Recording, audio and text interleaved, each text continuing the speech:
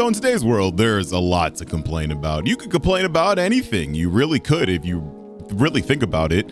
One of the funnier things is that there are always complaints about Nintendo games, video games, and just everything in general. You see it from Nintendo Directs, and just look at the chat for one moment, and you can literally see the frustration that some people have towards how things are done with Nintendo.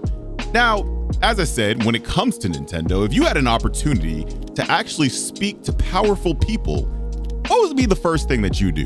Now, I would like you to put that down in the comment section below. Make sure to like on the way down there and subscribe also too, because you know my name's Ken and I love to do content.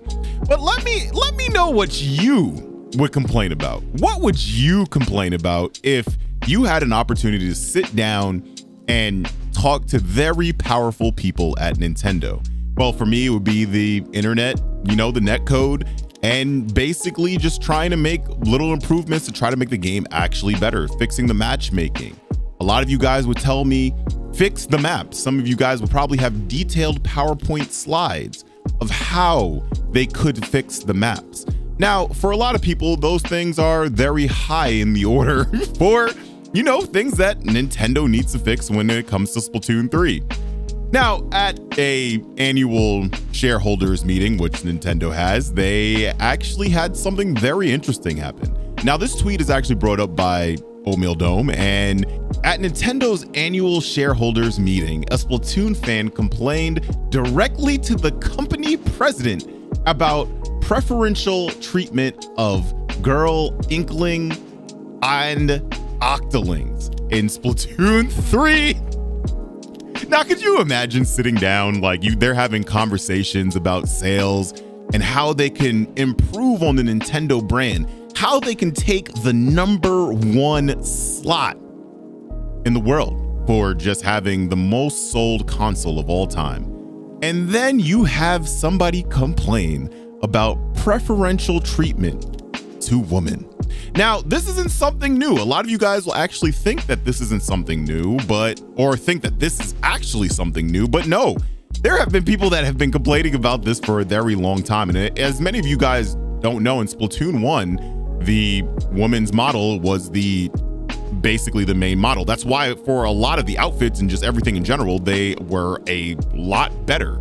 Nobody really cared. We all just picked the woman model because it was the better one, and that was really it. Nobody cared. That that that's really at it at the end of the day. But there are some people out there that have taken notice on the fact that Nintendo has strayed away from men, male counterparts or idols in their series. Now, I'm gonna be real with you. In gaming, men have had a very long stretch of being the protagonist, being everything it, Splatoon is a little bit nice with the fact that they have this, but again, could you imagine this? Supposedly, it's starting up like drama actually on Japanese Twitter, so it's actually hilarious. And it, continuing on, actually, apparently they were talking for quite a while, and Furukawa, company president, eventually had to interrupt to say that their question was too long. The person kept going. In the end, Furukawa's response was simply thanks for your opinion. And I'm not gonna lie, that is probably the funniest situations that you can like just think about when it comes to a shareholders meeting. There were so many things that you could have gone to and yes, we know. Yes, I know somebody's gonna say big man, this, that, and the other. You you know what people mean when they bring this up. It's very interesting. And even till this day, a lot of people will say that the woman model, uh, again, they they've moved away from gender. I know I know that, but it's just a little bit more easier for I guess specification. I'm sorry. Um, but again, it, it's just very interesting when you think about it because yes, there are a lot of people in the Splatoon community that use the woman model more than the the man model or the male model or the boy model, whichever you want to call it. And you've noticed that like even with gear and how things work out and how hairstyles are, a lot of people like how they fit with the woman model a lot better. Now, does anybody actually really care about this? No, I I would hope that anybody that's in my chat or in my genuine comments doesn't really care about this and just finds this absolutely hilarious because I I'm not going to lie to you. I saw this this morning and I just have to say I would love to be in this meeting. First of all, I know I can't speak Japanese. Like I, I obviously I understand that. It's more to see the fluctuations and just like the tone of how this went down. Because again, as I said, for anything for Splatoon 3, you could talk about the maps you could talk about the frame drops.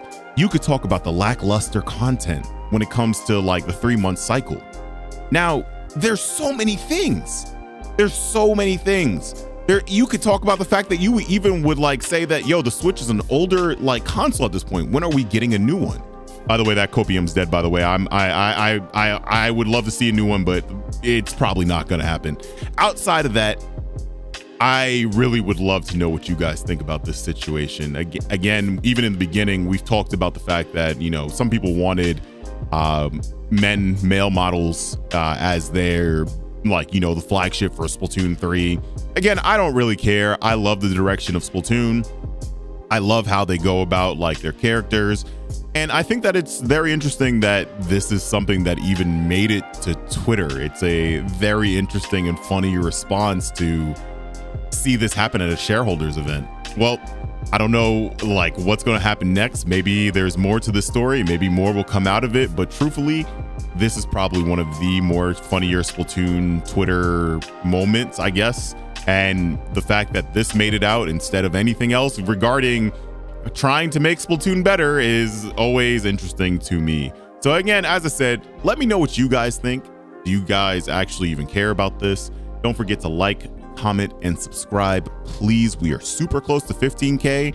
And then we're trying to go on to 20K and then 30K and then trying to take over the world. So that, that's basically what we're trying to do because I don't know a lot, but I know a little bit of things. And this is Ken Knows. And I'm going to catch you guys later. Have an amazing day. Peace out.